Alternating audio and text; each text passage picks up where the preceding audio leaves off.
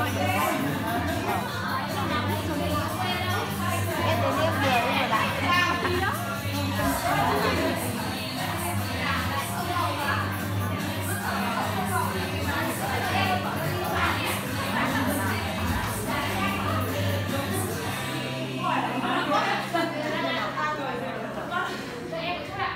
vòng hai người thì như sau ạ cô sẵn sàng nhá làm theo hiệu lệnh và khi làm hiệu lệnh hai cầm lại trong ạ bây giờ ạ các cô sẽ chuyển cái gác lên phía trước như khi mà chuyển lên phía trước đồng thời thì quay lưng lại đối phương ạ.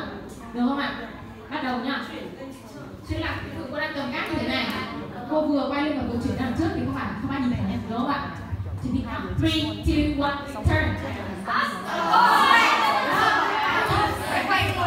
Đúng rồi ạ. Ra là em đang đối mặt với nhau thế này khi đến là mình sẽ đứng quay lưng. Đó. Thì các bạn sau khi mình đảo mình quay ra rồi. Sẽ quay lại nhìn nhau như thế Okay, anyway, T 不敢喊。